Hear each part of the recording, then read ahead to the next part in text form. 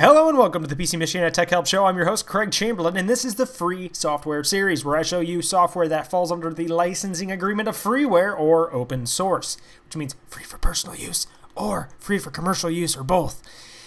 Basically, today I'm going to talk about Spyware Terminator. Now, you can go to my website, pcmachina.com, and click the download section, or click the link in the sidebar, or Google it. It's up to you, however you want to download it. I just keep them in one convenient location. Select Spyware Terminator and install it like you install any other piece of software you may have downloaded before. Now, once you finish downloading it, just of course go down to wherever you installed it to. I, of course, have Chrome, so it's in the bottom left hand corner. Then select Run to actually run the installer. It will greet you with this nice little screen of full features.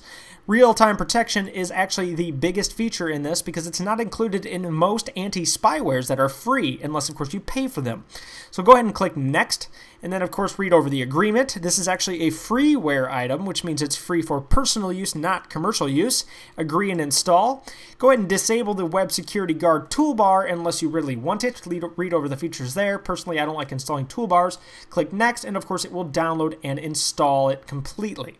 After it's downloaded and installed, it will come up with the Spyware Terminator Setup Assistant, which will ask you how you want to use this program.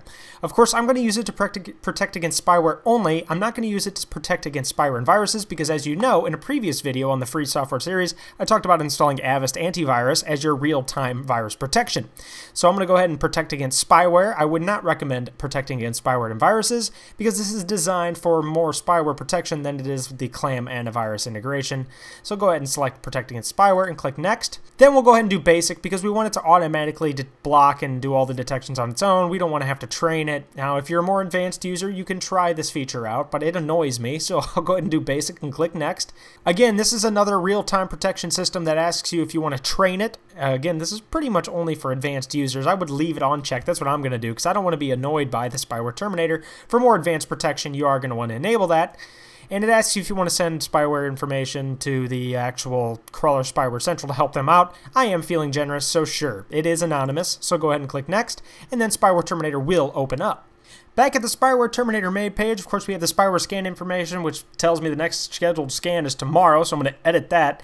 I don't like scheduled scans, so I'll go back to System Summary and save the changes.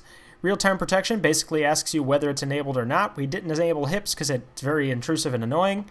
And update info basically asks you or tells you whether you're updated or not. Under the spyware scan, you can do the fast spyware scan, which I always recommended first. When you find spyware, then you can do the full scan because it takes quite a bit longer. You can check your reports, your quarantine, and your updates.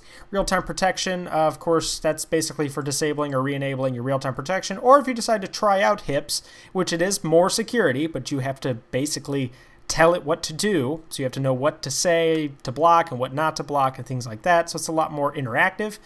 Uh, but that's entirely up to you. For internet protection, Go ahead and save that. For internet protection, uh, this is actually for a cookie scanner. I don't use Web Security Guard, don't have a lot of experience with it. So if you do, go ahead and leave a, co a comment below. I'd like to know how, what you think about it. Uh, the tools basically let you set your start page and your search page and your search bar in Internet Explorer because that's one of the most hijacked portions from spyware. And of course, in the settings, you can disable the spyware terminator icon and system tray, uh, updater icon system tray, and things like that. Basic system changes that you would expect in any kind of spyware software. Now, again, this is a great piece of software because it allows real-time protection. If I go down here in the bottom right-hand corner, you'll see I have the Spyware Terminator updater running in the background and the Spyware Terminator real-time shield, and that is not offered by Malwarebytes or by Super Anti Spyware unless you buy their commercial versions. So this offers some additional protection that you don't get with those other two, and it runs great with an antivirus running in the background as well. So this is definitely worth checking out if you haven't tried it before. It is Spyware Terminator. They've been around for quite a while. I think their last reviews are 4 out of 5 stars, which is really good for free software, and of course it's free for personal, not commercial use.